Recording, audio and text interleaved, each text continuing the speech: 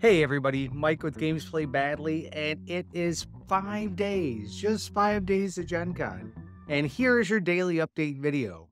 So today we're going to go through what we're bringing with us to Gen Con. So that may mean some of my studio equipment or my camera equipment, things like that, and then all the games. Now we're huge game players, so we're bringing a lot of games. Prepare yourself. And if you ever have questions about any of the games that are on this channel, please let me know and I'll be more than happy to answer your questions. Let's take a look.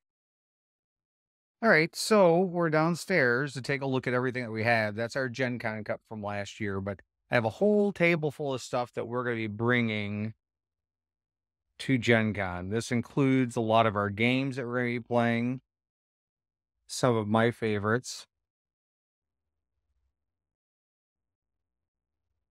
And then kind of to top it all off, we have obviously our new shirts,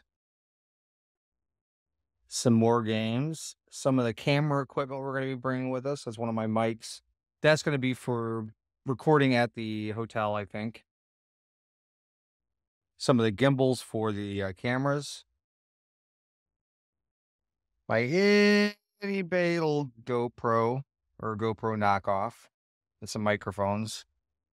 And of course, you got to have dice just in case we pick up a D&D game here or there. Now, uh, some of these games we actually got at Gen Con. So that Alien game from um, Ravensburger. Ravensburger. Yeah, they're actually coming out with a new game this year, I think. We got that one. Uh, we also picked up Dungeon Decorators, which is Slugfest Games.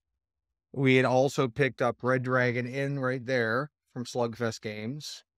And uh, this game over here, which is something that we played around with a bit, Dice Throne, which is an awesome game. I highly recommend it.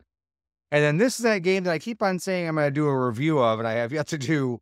Uh, it's the Witcher Old World, which is fantastic. There's actually an expansion with that that we're not playing with right now because we're still trying to learn the base game, but we're going to bring that with us as well. So we're bringing quite a few games to play uh, we're big game players to begin with. This is a gaming convention after all.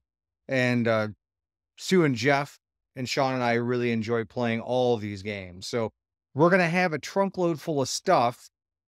And maybe we'll even uh, give you some updates about that as we play. Of course, we have uh, Mexican Train Dominoes, which is one of our favorites to play. Uh, we have a lot of fun just playing it on the deck. It's nice because there are no cards, so if the wind kicks up, we don't have to worry about anything blowing away.